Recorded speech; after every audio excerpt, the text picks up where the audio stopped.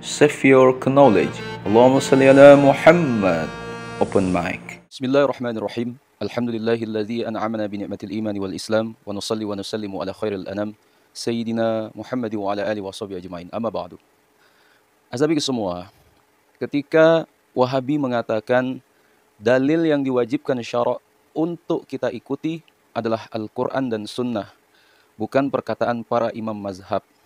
Maka jawablah dalil itu tidak terbatas hanya pada Al-Quran dan Sunnah saja tapi dalil juga meliputi ijma, kias, asar atau perkataan sahabat, kemudian syar'u man qablana, syariat umat terdahulu sebelum umat Muhammad. Kemudian uruf, adat istiadat yang sah, kemudian istihsan dan lain sebagainya.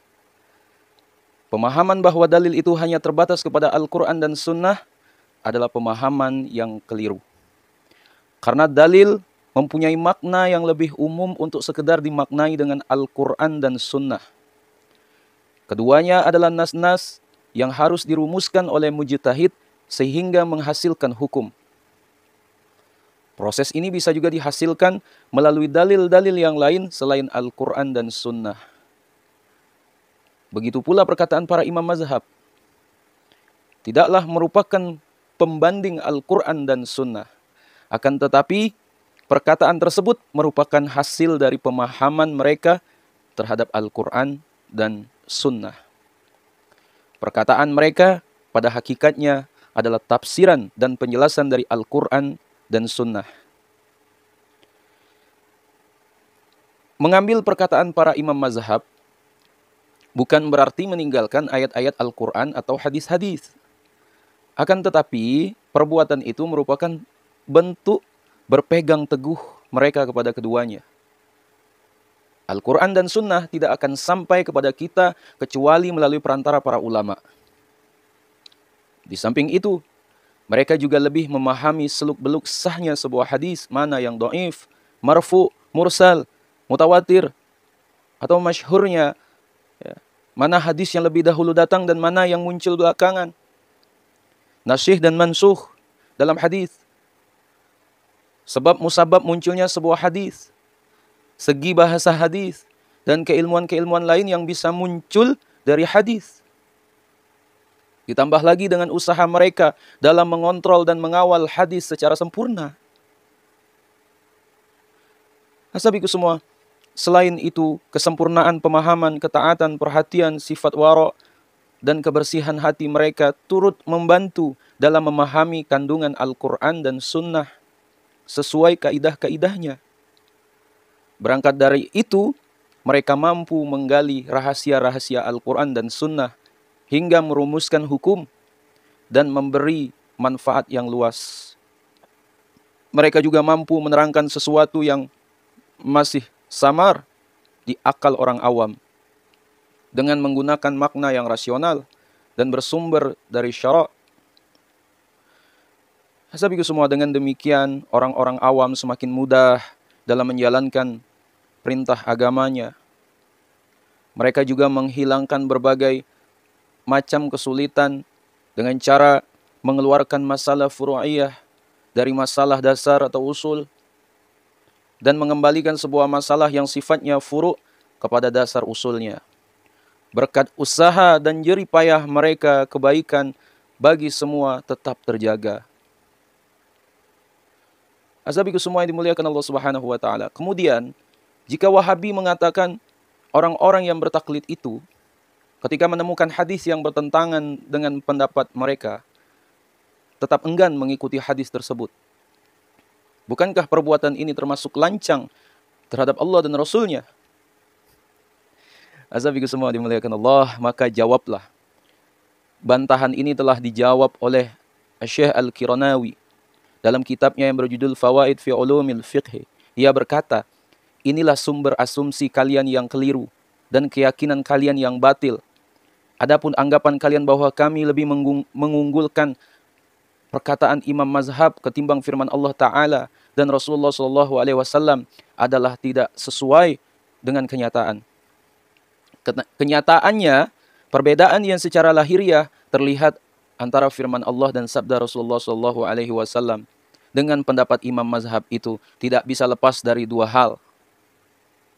Pertama, perlu diketahui apakah perkataan itu benar-benar merupakan perkataan Allah dan Rasulnya. Kedua, perlu diketahui apakah perkataan tersebut benar-benar bertentangan dengan pendapat imam mazhab. Namun sayangnya, si mukallid, orang yang bertaklid itu tidak memiliki kemampuan untuk mengetahui salah satu dari kedua hal di atas. Pengetahuan ini berhubungan erat dengan proses merumuskan sebuah hukum atau istidlal. Sementara orang yang bertaklid mungkin saja tidak mampu sama sekali. Atau ia mampu, namun rumusan hukumnya tidak bisa diterima secara syarak. Seperti istidlalnya orang yang mengatakan wajib membasuh bagian kepala yang memar dengan dasar ayat tentang tayamum. Jika kenyataannya seperti itu, bagaimana mungkin seorang mukallid bisa menghukumi pendapat seorang mujtahid sebagai bertentangan dengan perkataan Allah dan Rasulnya. Sementara ia berjitihad menggunakan dalil dari dirinya sendiri. Jika hal itu tidak bisa dilakukan oleh si mukallid, lantas bagaimana bisa pendapat mujtahid ditinggalkan dengan alasan bertentangan dengan perkataan Allah dan Rasulnya? Kesimpulannya, ketidakmampuan seorang mukallid meninggalkan pendapat imam mazhab karena ada hadis atau dalil lain yang secara zahir bertentangan dengan pendapat itu. Bukanlah berarti ia meyakini pendapat imam itu lebih unggul dari perkataan Allah dan Rasulnya. Akan tetapi hal itu dilakukan semata-mata karena menurutnya pendapat imam tersebut tidak bisa dipastikan telah bertentangan dengan perkataan Allah dan Rasulnya. Seandainya engkau mencoba membantah dengan berkata, apabila benar mukallid tak bisa mengetahui pertentangan ini sendiri, maka kami dan para ulama lain yang bersama kami bisa mengetahui imam mazhabnya telah bertentangan dengan hadis. Kami jawab bantahan itu dengan berkata, sesungguhnya pembenaran si mukallid tentang perkataan kalian itu bisa dihasilkan dengan cara istidlal atau merumuskan hukum. Namun sayangnya ia bukan orang yang punya keahlian untuk melakukan istidlal. Dan kalaupun ia melakukannya, maka keabsahan istidlal mereka tidak diakui. Lantas bagaimana mungkin ia bisa membenarkan perkataan kalian? Jika ia membenarkan perkataan kalian tanpa didasari dengan hujah. Berarti sama saja mereka bertaklid kepada kalian. Jika demikian, maka sesama taklid itu hukumnya sama. Tidak ada yang lebih baik daripada yang lainnya. Lantas, bagaimana mungkin ia akan meninggalkan taklidnya yang lama dan beralih untuk bertaklid kepada kalian? Terkuaklah modus kalian yang hanya ingin mencela dan memaki. Segala puji hanya bagi Allah Ta'ala. Itulah perkataan dari Syekh Al-Kilanawi. Selanjutnya sahabiku semua, jika Wahabi mengatakan taklid kepada para imam mazhab itu bertentangan dengan ajaran mereka karena para imam melarang orang bertaklid kepada mereka. Terlebih lagi apabila ada pendapat mereka atau imam yang bertentangan dengan hadis sahih. Sebagaimana pernah dikatakan oleh empat imam mazhab, bila ada hadis yang sahih, maka itu adalah mazhabku. Sabi semua maka jawablah. Klaim bahwa imam mazhab melarang bertaklid secara mutlak kepada mereka adalah keliru. Karena sama sekali tidak pernah dinukil perkataan mereka uh, yang menunjukkan hal tersebut. Seandainya ada, yaitu meninggalkan taklid karena larangan mereka, ya, para imam mazhab itu, sebenarnya juga merupakan sebuah bentuk taklid kepada mereka. Bukankah menurut kalian hal ini dilarang? Lantas, bagaimana mungkin mereka wajib meninggalkan taklid dengan cara bertaklid kepada perkataan mereka? Ya, jadi, perintah untuk bertaklid kepada mereka, ya, dalam perintah untuk meninggalkan uh, taklid kepada mereka ya, adalah sama saja ya, dengan mewajibkan uh, kepada dua perkara yang saling bertolak belakang, ya, hukumnya adalah batil.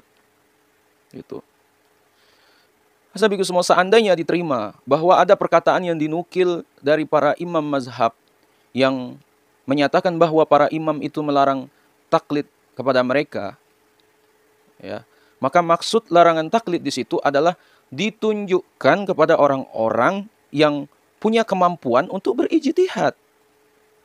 Ya, meskipun itu benar, hal itu juga bertentangan dengan sikap para imam mazhab yang menjawab pertanyaan orang-orang yang bertanya kepada mereka tanpa diiringi dengan memberi celaan dan tidak pula mendorong mereka mencari dalil sendiri dari Al-Quran dan Sunnah.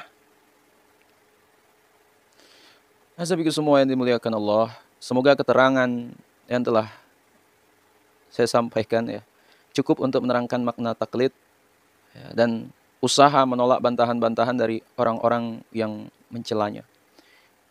Akhirnya kami memohon hidayah dan keselamatan kepada Allah Ta'ala. Dan Allah Ta'ala maha tinggi, lagi lebih mengetahui kebenaran. Hasabi semua yang dimuliakan Allah Subhanahu Wa Ta'ala, mungkin itu yang dapat saya sampaikan. Ya, perkara taklid ini sebenarnya uh, sudah saya bahas di video sebelumnya, boleh kalian uh, cek.